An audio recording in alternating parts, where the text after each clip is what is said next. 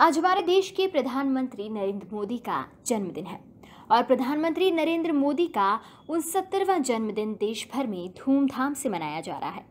PM Modi मंगलवार का दिन अपने गृह राज्य गुजरात में ही बिताएँगे। दिन के शुरुआत में पीएम मोदी सबसे पहले सरदार सरोवर डैम पहुँचे, जहाँ उन्होंने माँ नर्मदा की पूजा अर्चना की। इस मौके पर पीएम के संसदीय क्षेत्र वाराणसी के संकट मोचन मंदिर में सोने का मुकुट चढ़ाया गया। पीएम मोदी के प्रशंसक अरविंद सिंह ने दोबारा भाजपा सरकार बनने की मन्नत मांगी थी। मन्नत पूरी होने पर अरविंद ने एक दशमलव पच्चीस किलो वजनी सोने का मुकुट चढ़ाया। अरविंद का कहना है कि लोकसभा चुनाव से पहले हनुमान जी से दोबारा मोदी सरकार बनाने की मन्नत मांगी थी।